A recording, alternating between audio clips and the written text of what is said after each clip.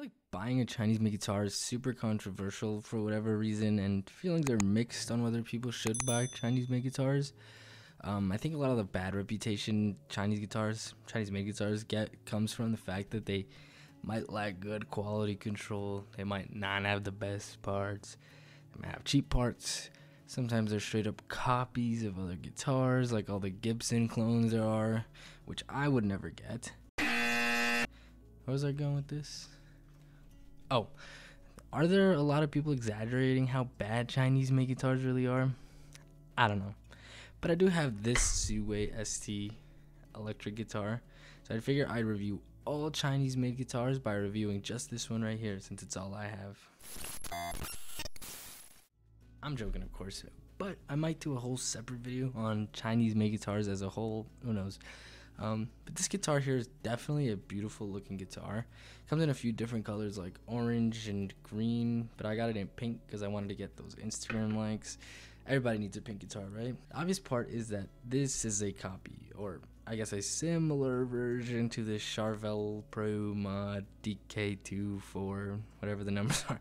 I think it's slightly different than the Charvel though, but that's nothing a bit of color correction wouldn't fix.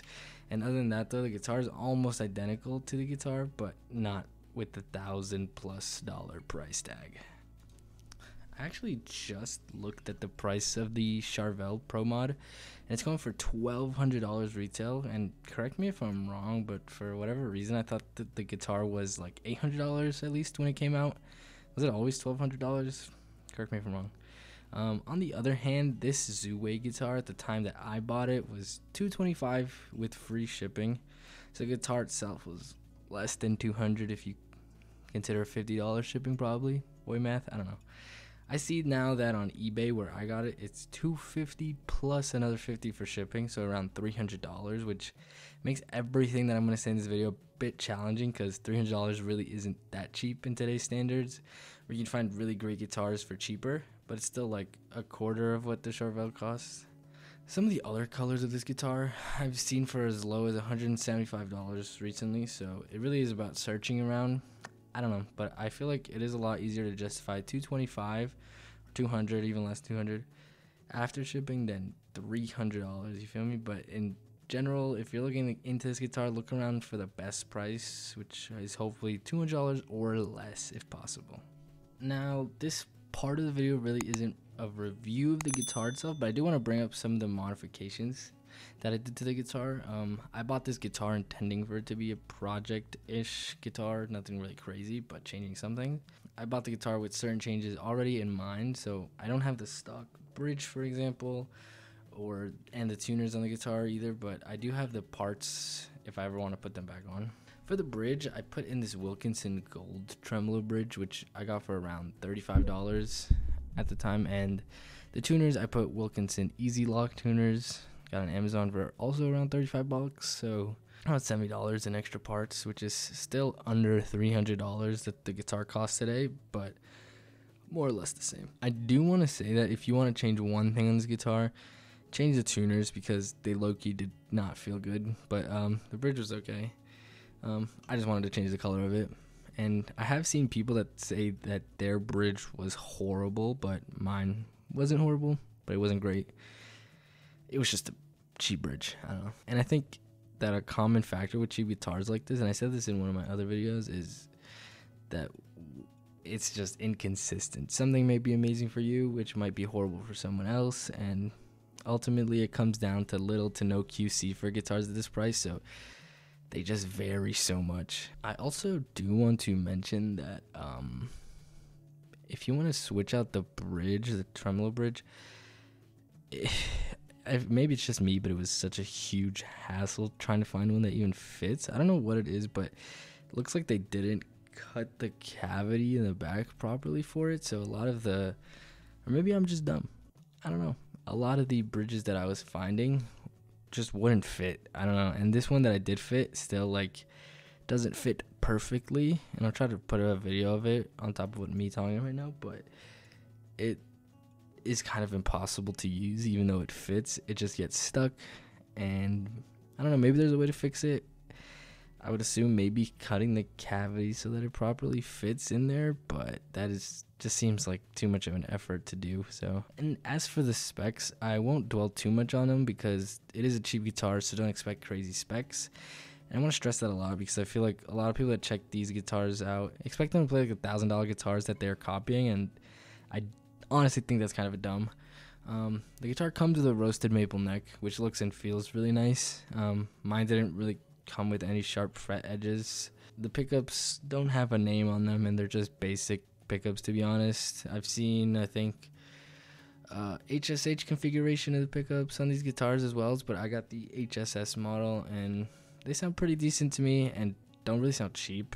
Um, I know that some people that have received these guitars said that the pickups look and sound cheap, but I didn't have this issue luckily. Honestly, I feel like I got really lucky with I get really lucky with a lot of the cheap guitars that I've purchased since I don't have a lot of QC issues that others have, at least from videos that I've seen. And some people return cheap guitars until they get a good one, but I never had to do that. And with this guitar, for example, with the bridge issue that I had, I just I just live with it because I can't be bothered.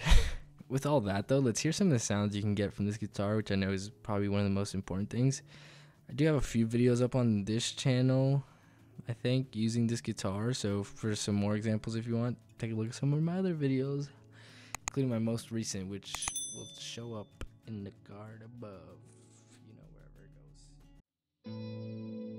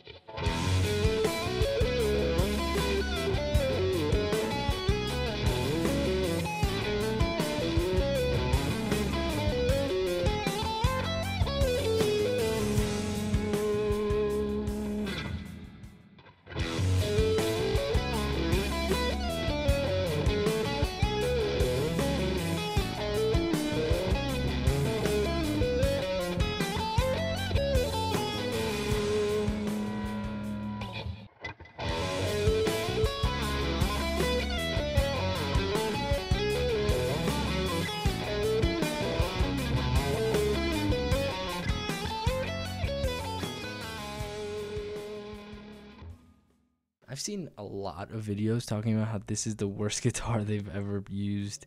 Do I agree with those comments? Absolutely not. I think it's one of those things where like people don't want to admit that a cheap Chinese guitar can be good and they kind of ignore the price and compare it to more expensive guitars. Now, do I think this guitar is great? Absolutely not. I think the guitar is an okay guitar and it's really nothing special. Um, if you're thinking about getting this guitar and you see any listing for like $300 including shipping, I do not recommend this guitar at all.